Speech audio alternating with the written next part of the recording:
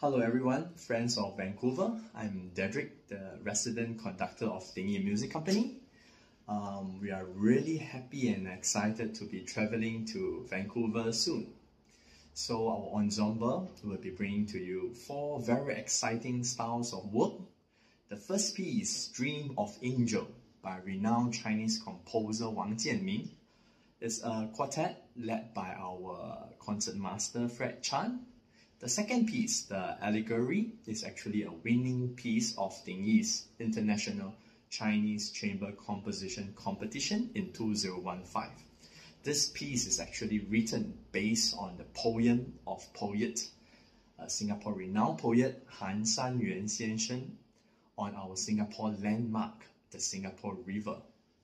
The next piece is actually uh, by Chinese young composer Li Ningxia on the Seven Sages of the Bamboo Grove. It's a very interesting piece where the seven instruments actually represent the seven sages of the bamboo grove. And the last piece is also another exciting Singaporean work by Wang Chen Wei, Winds Affinity, where our Dizhou ensemble player Wang Xianhan and Sound of Dragon player Palo will work together on this work. So once again, we are really very, very, very excited and happy to be working with our old friend Maestro Chen Zhisheng and the Sound of Dragon to present you more and more exciting works in this concert.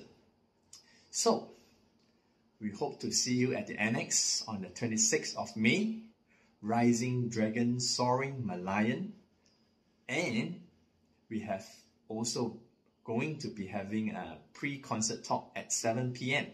So the concert is at 8 p.m. So we hope to see you there.